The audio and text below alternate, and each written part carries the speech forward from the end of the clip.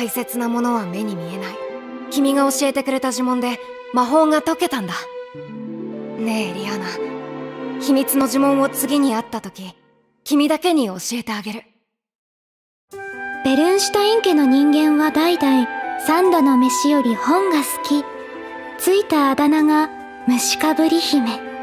早く婚約者をとうるさく言われていてね。どうだろう。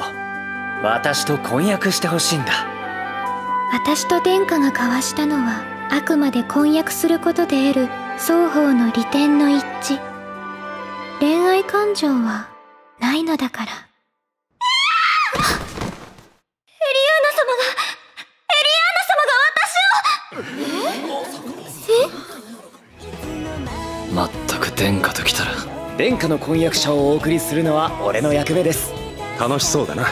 エリアーナ城へえいい加減潮時でしょ私は名ばかりの婚約者だったはずでは。あ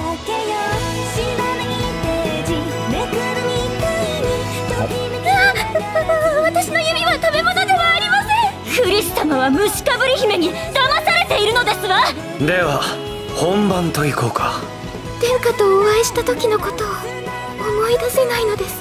大切なものを見失ってはいけないよ書物だけではわからない世界があることを初めて知りました。